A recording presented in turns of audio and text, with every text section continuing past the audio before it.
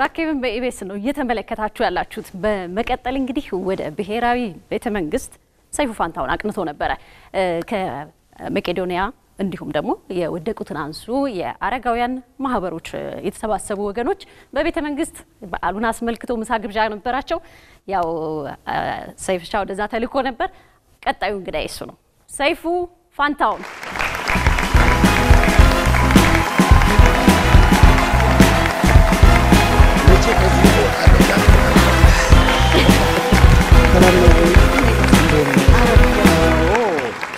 ዛሬ ቦታ እዚህ ተይዟል። ቦታ ላይ ለመቀመጥ በቃው። አይ እኔ ነኝ ማለት ያለብኝ እዚህ ቦታ ላይ ለመቀመጥ በቃው።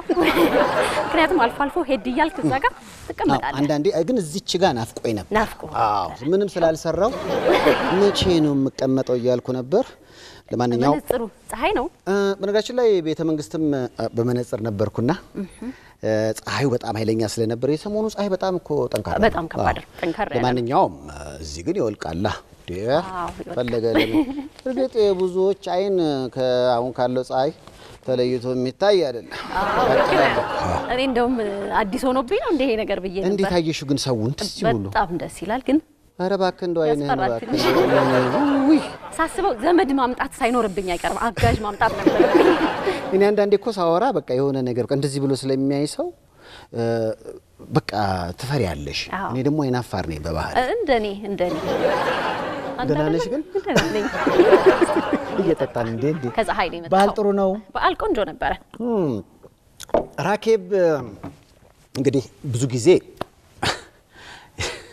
ያው ቃለ ምልልስ ማድረግ እንጂ ቃለ ምልልስ ታደርጊ ሰምቼ አይቼ አላውቅም አይደል? በፍጹም አዎ በነገራችን አሁን ቦታው የጠያቂው ቦታ ይሄ ነው። አዎ። እና ልጠይቅ ለምዶብህ ነው ወደ ዛም ሆነህ የምትጠይቀኝ? እዚህም ሞኜ ከመጠየቅ ወደ ምክንያቱም እዚህ የሚያስቀምጥ ምንም ነገር የለኝማ። አለ ጥሩ? ቆይታ እንደነበረ ተስፋ አደርጋለሁ። ኦ ብሔራዊ ቤተ መንግስት የተዘጋጀ ግብዣ ላይ ታድመህ ነበረ። እንዴት ነው? እንዴት ነበረ? በጣም በጣም የሚገርም ብዙ ችግረኞች አብረው እንግዲህ ከጠቅላይ ሚኒስትሩ ጋር ምሳ በሉ። እሳቸው ቆመው ሁሉ ጨለፉ። ይህ እኔም ብሄድ አልታጠብም። ማንኛውም ይቀመጣል። ማስታወሻ ነው። አዎ እዛ ላሉት አረጋውያን ክብር እንደምታየው እንደዚህ ጣፈጥ ያለ ምግብ ነው የተዘጋጀው። ከአረጋውያን ጋር አብሬ በነበርኩበት ሰዓት እንግዲህ ጠቅላይ ሚኒስትር ዶክተር አብይም መኖሬን ሰሙ እና እኔ ያቁኛል ብዬም አላስብም ነበረ። ሰይፉ አለ ሲባል በተባለ እንግዲህ እኔ ደግሞ ካገኘዋቸው አይቀር እንዴት ነው ቃለ ምልልስ አልኩ። ቃለ ምልልስማ አንዱን ከአንዱ መለየት ይከብደኛል። ስለዚህ አንተ ደግሞ ቧልትና ጨዋታ ነው፣ ለአንተ ደግሞ ትንሽ አጠነክርብሃለሁ አሉኝ። ኧረ ቧልትና ጨዋታ እንጫወታለን ቀለል ቀለል ያለ ምክንያቱም ከአሁን በፊት አይተሽ እንደሆነ መዓዛ ብሩ ጋር ጠንከር ያለ ሰፋ ሰፋ ያለ ቃለ ምልልስ አድርገዋል። ከግሩም ጫላ ጋር እና ከኔ ጋር ደግሞ ያኔ አሜሪካን የሄዱበት ጊዜ ላይ እኮ ሁሉም ሰው ነው የጠየቃቸው። ማለት ያ ሁሉ ሰው ያልጠየቀውን ጥያቄ ማግኘትም ይከብዳል። በዛ በጣም አስቸጋሪ ነው። እንደ ጋዜጠኛ በነገራችን ላይ ሁለቴ እንኳን አንድን ሰው ማግኘት በጣም ይከብዳል። እንኳን ብዙ ሰው በጣም የጠየቀውን ሰው ደግሞ መጠየቅ አስቸጋሪ ነው። አዎ ስለዚህ ምን አልኩኝ እንግዲህ ጠንከር ጠንከር ያሉ ሀሳቦችን የሚያነሱባቸውና የሚመልሱባቸው ብሉ ብዙ መገናኛ ብዙኃን አሉ። ከኔ ጋር ስንገናኝ ግን እንዲሁ ቀለል ቀለል ያለ በዓለም ስለመሆነ ቀለል ያሉ ነገሮች ለምን አናወራም አልኳቸው። በአጋጣሚ ለሁለት ጥያቄ ቁጭ ብለን እንደው አንድ ሁለት ስል አንድ ሁለት እንግዲህ ለሴ- ሰይፉ በኢቢኤስን የሚመስል ጥያቄ። በነገራችን ላይ ከቃለ መልሱ በፊት እንዲሁ ዝም ብለን ስናወራ ብዙ ነገሮችን ያውቃሉ። አሁን ያለውን የጸጥታውን ችግር፣ የኢኮኖሚ የኑሮውን ውድነት ለማስተካከል እየሰራን ነው። በክልሎች መካከል ያለው አለመግባባትን ለማስታረቅ ብዙ ነገር እየተሰራን ነው። አብረን በፍቅር የምናድግባት ሀገር ለመሆን ብዙ ተጋለሁ እየተጉ እንደሆነ ነው የገባኝ። ከዛ ውጭ ግን እንደው ምንድን ነው አሉኝ። በቃ እኔ እንደው ምንድን ነው ሌላኛው ገጽታው ምን ይመስላል ነው አዎ እንደ አሁን እንደ ሰው ነው ብዙ ጊዜ የምናየው የሰማነው የተ- የተ- የተቀመጡበትን ቦታ ሰው የሆነው ያለፉ እስካይመስልን ድረስ ክብድ ስለሚለን አሁን ቅልል ያለውን የሰውን ገጽታቸውን ልታሳየን የሞከርክ ይመስለኛል። አዎ ኖቤልን ተሸልመዋል። እኔ ደግሞ ኖቤል የመሸለም እቅድ አለኝ። በምንድን ነው የሰላም መሆኑን ግን ታውቃለህ አይደል? ሰላም አትሰጠንም ለማለት ነው። ይገባኝ ይገባኛል። ለማንኛውም ግን እንዲህ ቁጭ አለን። እ፣ በነገራችን ላይ ቀለል ያሉ በዓል የሚመስሉ ጥያቄና መልሶች ናቸው የጠየኳቸው። ከዛ በኋላ ግን አሁን በቅርቡ ደግሞ የሌሎችን ሰዎች ጠንከር ጠንከር ያሉ ጥያቄዎችን ያዝ አድርገን ደግሞ ከእሳቸው ጋር ለመገናኘት ተቀጣጥረናል።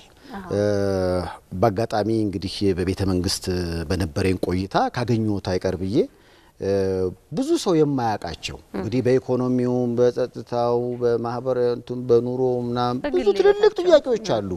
ግን ደግሞ የጠቅላይ ሚኒስትሩ ሌላኛው ገጽታ ምን ይመስላል የሚለውን ሰይፉ በኢቢኤስ መልኩም እሱ ስለሆነ አንዳንድ አቃቂር እንዳት ይሄ አሁን ይባላል እንዳይባል በቃ ቀለል ያለ ነገር በጠይቃቸው ጥሩ ነው ብዬ ነው እንግዲህ ያገኘኋቸው። እግረ መንገድህንም ድንገት ከአረጋውያኑ መሀል እየበላ ተገኝተህ እነዛን ጥያቄዎች ይዞ መግባት በራሱ ከባድ ነው። ምክንያቱም ጊዜ ቀጠሮ ብዙ ነገር ያስፈልጋል እኮ። በሚቀጥለው ግን የሚገርም አቤት ያኔ አዎ እሳቸውም እሱ ልዩ እንደሚሆን አምናለሁ። አዎ እስቲ እንግዲህ ያው ከእሳቸው ጋር ያረኩት ቆይታ አለና ወደዛው እንለፍ። እንለፍ። እንደው ለመሆኑ ግን እንደው ኢቢኤስን ያያሉ? እሁድን በኢቢኤስን ያውቁታል? ጠየቅ ቀስት ብለህ ስለዚህ የመገናኛ ብዙኃን ይከታተላሉ ከሚለው ጥያቄ ለምን አልጀምርልሽም? ደስ ይለኛል። ይቻላል። ያዥ ሰይፉ በኢቢኤስ በቀጥታ ወደ ቤተ መንግስት የበዓል ሰሞን እንደመሆኑ መጠን ቀለል ቀለል ያሉ ጥያቄዎች ከጠቅላይ ሚኒስትር ዶክተር አብይ ጋር። ጤና ይስጥልኝ ክቡራትና ክቡራን፣ ሰይፉ በኢቢኤስ ዛሬ በቤተ መንግስት ይገኛል። ከተከበሩ ጠቅላይ ሚኒስትር ዶክተር አብይ ጋር ትንሽ ቆይታ ልናደርግ ነው። እንደ ቀልደኛ ብቻ ሳይሆን እንደ ቁም ነገረኛ ቆጥረው እሺ ስላሉኝ መጀመሪያ አመሰግናለሁ ክቡር ጠቅላይ ሚኒስትር። እኔም አመሰግናለሁ። አንተን ከቀልድ አውጥቶ ቁም ነገር ያወጣ እግዚአብሔር የተመሰገነ ይሁን። በጣም አመሰግናለሁ። የመገናኛ ብዙኃን ይከታተላሉ? ቴሌቪዥን፣ ሬዲዮ? በጣም አልፎ አልፎ አልፎ አልፎ ሁሌ አይሞላም። አልፎ አልፎ ሲመች ከመጽሔት ከጋዜጣና ከመጽሐፍ መጽሐፍ መጽሐፍ ነው። እንደው እርሱ አንብበው ሌላው ሰው ቢያነበው የሚሉት መቼም መንፈሳዊ አይደለም ዓለማዊ መጽሐፍ ልጠይቅዎት። ብዙ መጽሐፍት አሉ ሳነባቸው ደስታ የሚሰጡኝ፣ ግን ተጽፎ የማይረባ መጽሐፍ አለ ብዬ አላስብም። መጽሐፉን የምታይበት መንገድ ካልሆነ በስተቀር ብዙዎቹ መጽሐፍት ጠቃሚ ናቸው። በተለይ የድሮዎቹ ተደክሞባቸው ጊዜ ተወስዶ የሚሰሩ ስለሆነ ብዙ እውቀት ይሸምትባቸዋል። እኔ አሁን ባዮግራፊ እና ታሪክ ነክ ነገሮች ብዙ ስለማነብ ብዙዎቹ ሰዎች የድሮ ሰዎች ናቸው የሚጽፏቸው። የድሮ ሰው ሀምብል ስለሆነ ራሱን በተጋነነ መንገድ አይገልጥም፣ ግን እውነትን ናሬት የሚያደርጉበት መንገድ በጣም አስተማሪ ነው እና ብዙ ናቸው። ብዙዎቹ በጣም ጠቃሚ ናቸው። ግለሰብ ከምጠራ ብዬ ነው። መቼም የኔ ፕሮግራም ፖለቲካ ጉዳዮችን ሳይሆን የመዝናኛ ጉዳዮችን ነው በአብዛኛው የሚዳስሰው እና የመዝናኛ ጥያቄዎችን ብጠይቆት ደስ ይለኛል። ስፖርት ይወዳሉ? ልጅ እያለሁ ልጅ እያለሁ ወድ ነበር። እግር ኳስ? እግር ኳስም መረብ ኳስም እጫወት ነበር። አዎ። በማየት ደረጃ አሁን ወጣቱ ያ አርሰናል፣ ማንቸስተር ምናምን ያለ ያብዳል። ጠቅላይ ሚኒስትር ዶክተር አብይ አሁን ለምሳሌ ኳስ ምንም ስሜት የለውም ወይንስ ስሜት ለመኖር ሳይሆን ለኳስ ኳስ ለማየት ተብሎ የሚወጣውን ኢነርጂና ጊዜ ብዙ አልደግፍም። ኳስ ወዳለሁ፣ እጫወት ነበር።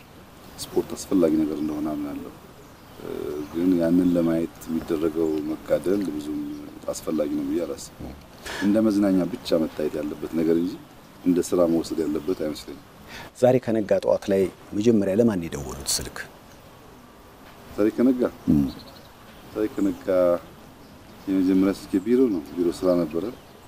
ቢሮ የደወልኩት የቢሮ ሰራተኞች ጋር የደወልኩት መጀመሪያ እንደው የጠቅላይ ሚኒስትር ሲኮን አስታውሳለሁ። የሳውዲው ንጉሥ መሰለኝ አምስት ቦታ ደውላለሁ አገሪቷን ደህንነት ለማረጋገጥ ጀነራሎች ጋር፣ ፖሊስ ኃይሉ ጋር፣ እስር ቤቱ ጋር እንዲህ ነገር አለ እና ጠቅላይ ሚኒስትር ዶክተር አብይ የጠዋት የመጀመሪያ ስልኮቻቸው ምን ላይ ነው የሚያተኩሩት? ብዙ አይነት የመረጃ አወሳሰድ ስርዓት አለ። ከዚህ ቀደም እንደተባለው በስልክ ሀገር እንዴት አድሯል ይጠየቃል። በ hard copy መንገድም መረጃ ይላካል። አሁን ግን virtually ሪፖርት የሚደረግበት ስራ ተዘረጋ።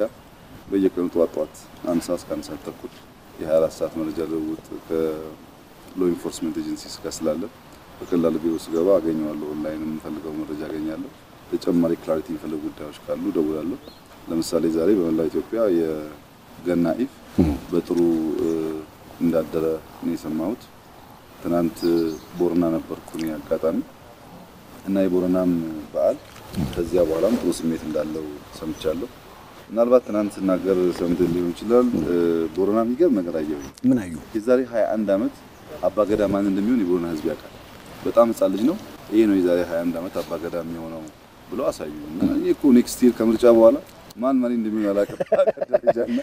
ቦረናዎች ያውቋቸዋል። ቦረናዎች በስምንት በስድስት ዓመት ብቻ ሳይሆን ሶስት አራት ተርም ልጆች ያዘጋጃሉ። መሪ ነው የምትሆነው እያሉ አመጋገቡን፣ አነጋገሩን፣ ውሎውን እየቀረጹ ትሄዳሉ እና አባገዳ ሲሆን የኖረበት ያደገበት የተዘጋጀበት ስራ ስለሚሆን ሳይቸገር ስራውን ወስዶ በኃላፊነት ይወጣል። እኛ ጋር አሁን የሚታየው ችግር አትዘጋጅም፣ ድንገት ይወድቅብሃል። ከወደቀብህ በኋላ አንተ መሸከሙን እስክትችል ስትንገዳገድ አገር አብሮ ይንገዳገዳል እና ያ ልምምድ በጣም impress አድርጎኛል ትናንት። ጠቅላይ ሚኒስትርነትን ከርቀት ሲያውቁትና አሁን ሆነው ሲያዩት እንዴት አገኙት? ከባድ ነው ወይ? ሁሉም ስራ ከባድ ነው። የአንተም ስራ ከባድ ነው። የኔም ስራ ከባድ ነው። የሚናቅ ስራ የለም። ስራ ብለህ ከወሰድከው የጠቅላይ ሚኒስትርነትን እንደማገልገል ነው የማየው። የተለየ ብዙ የተለየ ግምት አልሰጠውም። እያገለገልኩ እንዳለው ነው የማስበው። ጠቅላይ ሚኒስትር ባታደርገኝም እሰራለሁ። ድሮም እንደዛ ነው የማደርገው፣ አሁንም እንደዛ ነው የማደርገው። ብዙ በስራ ችግር የለብኝም። ሁሉም ስራ ከብዶኝ፣ ሁሉም ስራ ደስ ብሎኝ፣ ሁሉም ስራ ደግሞ በውጤት ነው ያጠናቀቅኩት። የጠቅላይ ሚኒስትርነቱን ስራ በጊዜ ሂደት ካቆሙ በኋላ በምን ሙያ መቀጠል ይፈልጋሉ? በምን ስራ ዘርፍ? አሁን እንግዲህ ከጠቅላይ ሚኒስትርነት በኋላ ይሄንን እሰራለሁ ብዬ አልወሰንኩም። ግን ብዙ ጊዜ በመጽሐፍ በማንበብ በመጽሐፍ በማስተማር ማጠፋ ይመስለኛል። ማስተማር እፈልጋለሁ፣ መጽሐፍ እፈልጋለሁ እና በማንበብ ማጠፋ ይመስለኛል። አሁን ላይ ሆኜ ሳስበው እንግዲህ ጊዜ የሚያመጣውን ነገር ደግሞ አታውቅም። ምናልባት ከጊዜ ጋር ተያይዞ ተጨማሪ ስራዎች ሊፈጠሩ ይችላሉ። ብዙ የሚያረካኝ ነገር ጊዜ ወስጄ ባነብ፣ ብጽፍ፣ ባስተምር ደስ ይለኛል። የጊዜ አጠቃቀሙት ላይ ጠዋት የሆነ ቦታ ኖት፣ ከሰዓት የሆነ ቦታ ነው። በጣም ጊዜዎት እንዴት ነው ማኔጅ የሚያደርጉት? ለቤተሰብ መስጠት ያለቦትን ጊዜስ አይሻማቦትም ወይ? ለምሳሌ ለልጆች ወይ ለባለቤቶ ለእነሱስ ጊዜ አለ ወይ? እንግዲህ ኃላፊነት ስትወስድ አንዱ አብረህ መውሰድ ያለብህ ነገር ያንተን ጊዜ የሚፈልጉና የሚሻሙ ሰዎች በጣም ብዙ መሆናቸውን ማወቅ ነው። ልጆቼ ገናን ከኔ ጋር ማሳለፍ ይፈልጋሉ። ቅድም እንዳየኸው ደግሞ የጎዳና ተዳዳሪዎችም ከኔ ጋር ማሳለፍ ይፈልጋሉ። ይህንን ጉዳይ ማጣጣም ያስፈልጋል። እኔ ልጆቼ ብቻ አይደለሁም ቢሮ እስካለሁ ድረስ ሁሉ ጊዜ እንደ ልጆቼ ብዬ ማስቀመጥ አልችልም። ግን በተቻለ መጠን ጊዜ እና- እናሳልፋለን። ማታ ማታ ፕሮጀክቶች በመከታተልበት ሰዓት አብረውኝ ይከታተላሉ። እዚህ ግቢ የባለቤት ሚና ከፍተኛ ነው። በጣም ብዙውን ስራ ያገዘችኝ እሷ ናት። ያውቃሉ ጥማቴን ያግዛሉ። ስለዚህ እኛ እዚህ ቤት እስካለን ድረስ የእኛ ጥማት በየቀኑ አዳዲስ value add የሚያደርጉ ስራዎች መስራት ነው። እሱ ውስጥ መተባበር ነው። ልጆቹ ደግሞ ይማራሉ።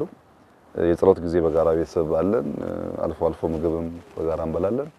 ፕሮጀክት አብረን follow እናደርጋለን። ከዛ የቀረውን ደግሞ ስንጨርስ እናደርገዋለን ማለት ነው። የብዙ ሀገር መሪዎችን የማግኘት ነገር አለ። ከርቀት ለየት ያለ ግምት ኖሮት ሲያገኙት የተለየ ቦታ ደግሞ ያስገረሙት መሪ ማን ነው? በዓለም አቀፍ ደረጃ ብዙ አይነት የመሪነት ብቃት ያላቸው ሰዎች አሉ። በሚያስቡት ሀሳብ ሀሳባቸውን በሚተገብሩበት መንገድ የሚገርሙ ሰዎች አሉ እና በቅርቡ የገጠመኝ አንድ interesting ነገር አለ።